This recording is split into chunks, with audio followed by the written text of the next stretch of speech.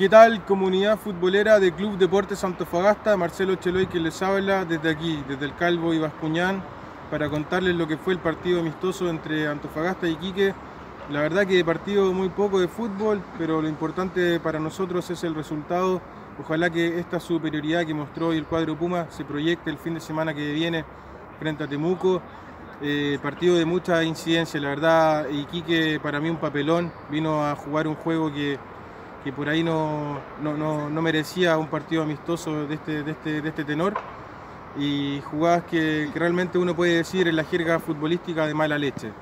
Eh, todo queda en la cancha obviamente, pero tirón de orejas para la gente de Iquique, sabemos que la están pasando mal, pero hay que cuidar el físico, nos parece a nosotros.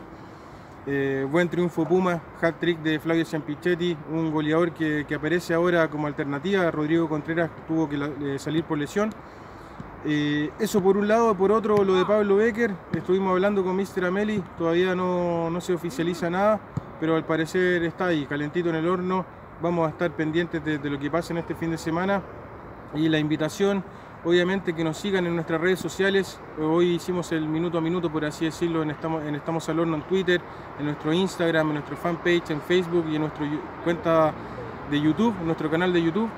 Así que la invitación es esa para todos los hinchas que puedan compartir con nosotros en las plataformas y contarles a ustedes lo que pasó en este partido, resultado final 3 a 0 Club Deportes Antofagasta frente a Iquique. Y desearles lo mejor para este fin de semana, se viene la final de la Copa del Mundo, ojalá que lo vean todos muy cómodos donde estén. Y desde aquí, desde Antofagasta, en la Perla del Norte, para todos ustedes, estamos al horno.